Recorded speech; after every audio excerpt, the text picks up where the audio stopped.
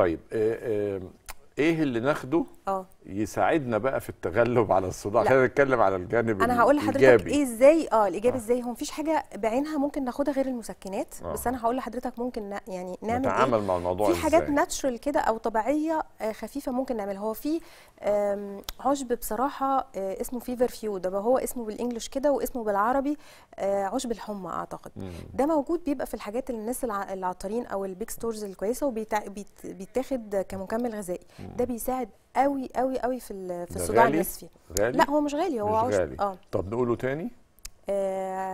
اسمه feverfew اللي هو بالعربي آم، عشب الحمى عشب الحمى آه. أها ده ده معروف قوي لو حد عمله بيتغلي search مثلا؟ لو. بيتاخد في هيئة كبسولات مكملات غذائية يعني ممكن هو طبعا مو- موجود بره بكثره يعني. لو جبته من العطار يبقى شكله إيه؟ موجود. أنا للأسف سألت امبارح عن اتنين عطارين قالوا مش عندنا وخلصان. كنت عايزة اجيبه لكم لكن موجود في مصر موجود، يعني. آه. موجود في مصر. مم. آه. بيبقى عندهم عندهم بيغلوه؟ آه. بيتغلى. طيب تمام. هو حضرتك شبه بين ال chamomile واليانسون كده. زهرة يعني آه زهرة آه. زي آه زي آه. اليانسون في. كمان الجنزبيل ممكن يساعد قوي.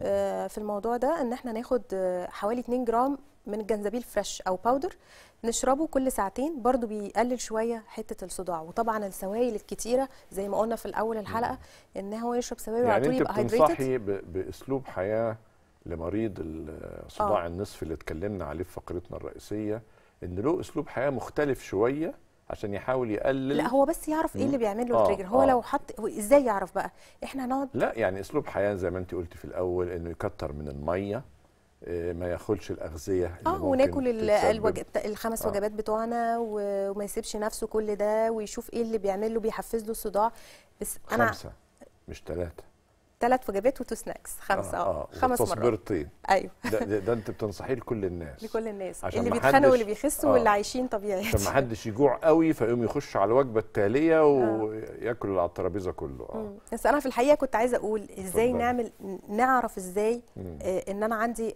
أو إيه اللي بيحفز الصداع عندي. اتفضلي إحنا نمنع معظم الحاجات دي مم. لمدة أسبوعين وكل يومين ندخل حاجة فيهم.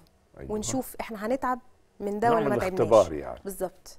فهو ده بس حاجة أنا بقولها للناس إن يعني هي اللي تجربها ذكرناه ده كله نوقفه مم. وبعدين نبدأ بعد أسبوعين عشان كل آثاره تروح من الجسم أبدأ أدخله صنف كل صنف. كل صنف صنف ندخله لمدة يومين لوحده. ونراقب نفسنا. آه كده ال ال اللي يرجع لي الصداع منهم هو ده هو ده. هو ده اللي أنا جسمي بيحسس منه بيجيب لي صداع وتجنبه. وأتجنبه. وتجنبه. هنتجنبه قد إيه؟ for life غالبا يعني. غالبا لمدى الحياة. آه لو في حاجة ملهاش بديل أو يعني لو في حاجة مثلا يعني مثلا ال ال الشوكولاتة نبعد عن هيبقى هيبقى السكريات كمان معظمها. مم. يعني هيبقى والله لو طلع هيبقى بركة لو طلع حاجة زي اللحوم المصنعة ولا يبقى أحسن. ولا يبقى أحسن وأفيد ليك ولولادك أيوه. يعني آه، دي دي كلها نصايح حتى تصلح للحياة العامة مش بس للصداع بس يعني ده حقيقي. آه، فيها خدمة لجسمك وخدمة لشرايينك بس مثلا في حاجات مثلا زي الموز إحنا قلنا الموز مثلا ده من الحاجات الموز المحفزات يعني الموز آه ناخد صعب. فاكهة تانية. صعب. ممكن أشوف فاكهة فيها نفس الفايدة الغذائية بالظبط. و- يعني مثلا البوتاسيوم يعني مثلا مريض الضغط بيبقى محتاج الموز علشان البوتاسيوم اللي فيه آه. نشوف ناخد مشمش مثلا أو مشمشية. آه. يعني ممكن نعوضها بحاجات تانية. هتقوم بدلها. بالظبط. هي أهم حاجة نرجع نقول نفس الكلام ال- الحياة الصحية في الأكل وكميته وأنواعه والمية الكتير. زي ما انت قلت. إحنا في الصيف الناس بتنسى موضوع المية خالص.